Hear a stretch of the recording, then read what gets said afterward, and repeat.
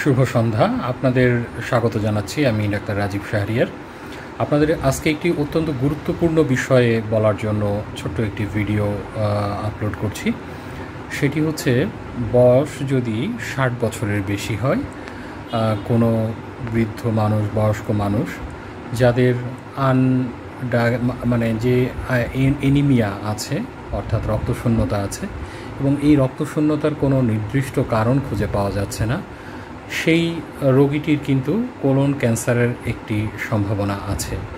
আমি আজকে colon cancer নিয়ে কথা বলব, যাদের বৃহদান্ত্রে, অর্থাৎ আমাদের পেটের ডান দিকে, নিচের দিকে কোলনের যে অংশ থাকে, বৃহদান্ত্রের যে অংশ থাকে, সেটি একটু ডায়ামিটারটা মোটা হয়। অর্থাৎ ভেতরের মধ্যে কোলনের মধ্যে যে খালি জায়গাটা, ফাঁপা জায়গাটা বা নলের মতো জায়গাটা সেই জায়গাটা ডায়ামিটারটা একটু বেশি হওয়ায় বাম দিকে, অর্থাৎ আমাদের সিগময়েড কোলন বা অন্যান্য জায়গায় যে বৃহদান্ত্রের অংশ আছে, সেই অংশটিতে পেটের মধ্যে যদি কোনো কোলন ক্যান্সার হয়, তাহলে কি হয়?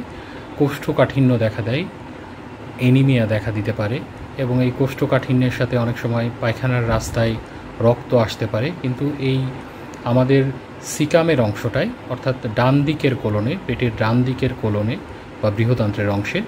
যদি ক্যান্সার হয়, তাহলে কিন্তু এই বাম দিকের কোলনে যেমন ক্যান্সার হলে রক্ত আসতে পারে পায়খানার সাথে, সেটি আসে না। কেননা রক্তক্ষরণ হতে থাকে আস্তে আস্তে এবং এই রক্তক্ষরণটি পায়খানার সাথে মিশে মিশে মিশে মিশে পায়খানার সাথে বের হয়ে যায়। সুতরাং তখন আর রক্তের আকারে আমরা তাকে দেখতে পারি না।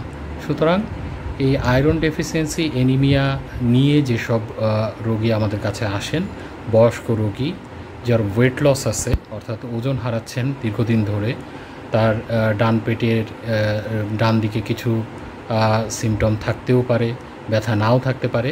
কিন্তু এই এনিমিয়া আমাদেরকে কিন্তু এনিমিয়ার কারণ যদি আমরা খুঁজে না পাই, তাহলে এটি কিন্তু অবশ্যই আমাদের কোলন ক্যান্সারের জন্য ঝুঁকির একটি জায়গা হিসেবে দেখা যেতে পারে এবং কোলোনোস্কোপির মাধ্যমে কনফার্মেটরি ডায়াগনোসিস করা যেতে পারে এবং পঞ্চাশ থেকে সত্তর বছরের যারা মানুষ আছেন পঞ্চাশ বছরের উপরে, তাদের অবশ্যই প্রতি তিন বছর পর পর কোলোনোস্কোপি করে কোলন ক্যান্সারের সম্ভাবনা বা ঝুঁকি যাচাই করা উচিত।